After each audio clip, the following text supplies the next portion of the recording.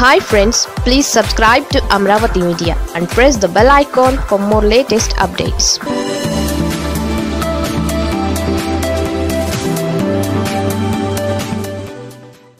అక్కడ చేతులెత్తేసిన టీడీపీకి అభ్యర్థులు.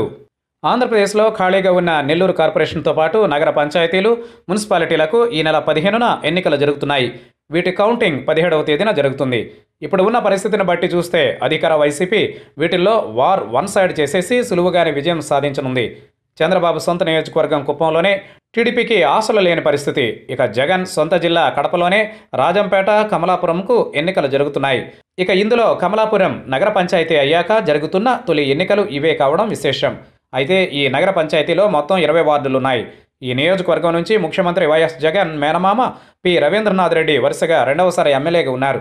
జగన్ సొంత జిల్లా అంటే ఈ పాటికే మున్సిపాలిటీ ఏకగ్రీవం కావాలి.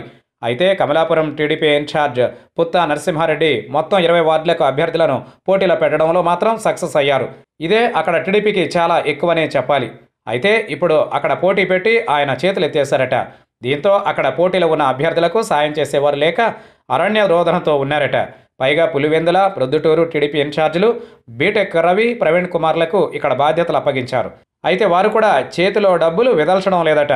దీంతో అక్కడ పోటీ చేస్తున్న వారు దేవుడా డబ్బులు ఎలారా బాబు అని తలలు పట్టుకుంటున్నారట. సాయినాథ్ శర్మ అనే వ్యక్తి మాత్రం ఉన్నంతలో అక్కడ క్యాండిడేట్లకు సాయం చేసేందుకు తన వంతుగా కష్టపడుతున్నారట.